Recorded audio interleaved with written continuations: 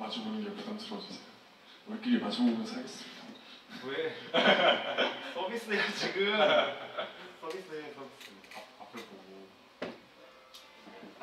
그렇게 말씀하시네.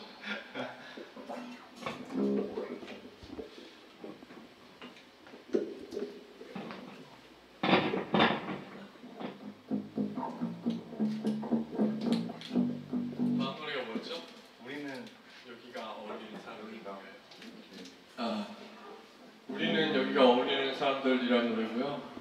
저 자체가 성격이 좀 자기 비하를 좀 자주 종종 하는 편이라서 네, 뭔가 어, 더 어릴 때 처음 봤던 인디 공연이 솔직히 저는 좀 많이 실망스러운 편이었어서 근데도 다들 뭔가 자기가 표출하는 거를 확고하게 내세우니까 되게 그것 자체로도 의미 있는 일이구나 싶어서 만든 노래인 것 같아요.